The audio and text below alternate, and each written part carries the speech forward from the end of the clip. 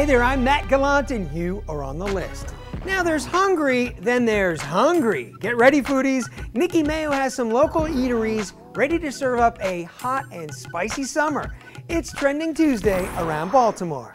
At number one, for five years now, Harbor East is the place to spot the trends. And wit and wisdom at the Four Seasons is always on the cutting edge of the current season. We don't need the warm weather things anymore. We want you to be able to have lunch or have dinner and kind of still be active and enjoy the weather afterwards. Chef Zach Mills cooks up dishes specific to Baltimore, using local products, which he says makes customers happy and his staff as well. We're fortunate that we're so close to being a farm to table restaurant, we can get all of these things. At number two, Seafood is always trending around Maryland, right? Yeah, you have to have your Chesapeake oysters, mm-hmm. you know, crab cakes, soft shell crabs, and of course, Maryland rockfish. you can snag rockfish all year round, but spring through fall months are peak season for oysters and blue crabs in the Delmarva region. Everybody that comes to Baltimore wants, you know, they want a crab or rockfish. A lot of people are scared of soft crabs, but they're they're fantastic.